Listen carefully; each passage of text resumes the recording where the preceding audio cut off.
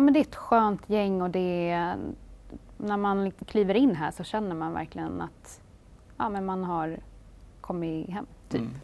Mm. Um, så har en egen replokal också som jag håller mig borta ifrån. Men det finns ju, jag vet inte hur många band vi har på HiQ. Men ah, gud. vill man lira i band och tycker det är kul med musik så har vi eh, en egen replokal som eh, står till förfogande. Och precis. just musikkulturen på HiQ är extremt stor. Ja, verkligen. Det är skitroligt. Jag är tyvärr tondöv. jag håller mig också borta. ja.